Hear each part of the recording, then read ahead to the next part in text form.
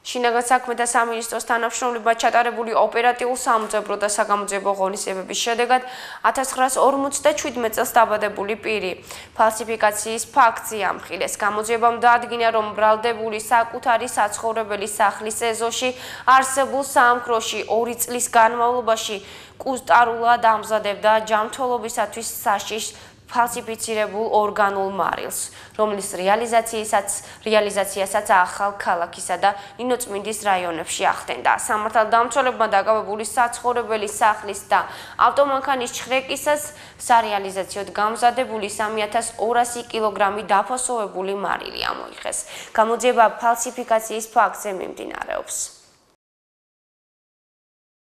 ფალსიფიკაციის ფაქტზე ერთი პირი ვამხილეთ, რომელიც 2 წლის განმავლობაში საკუთარი საცხოვრებელი სახლის ეზოში არსებულ საანქროში ჯანმრთელობისთვის საშიშ ფალსიფიცირებულ მარილს კუსტარულად ამზადებდა და ნინოწმინდის და ახალქალაქის რაიონებში რეალიზაციას ახდენდა.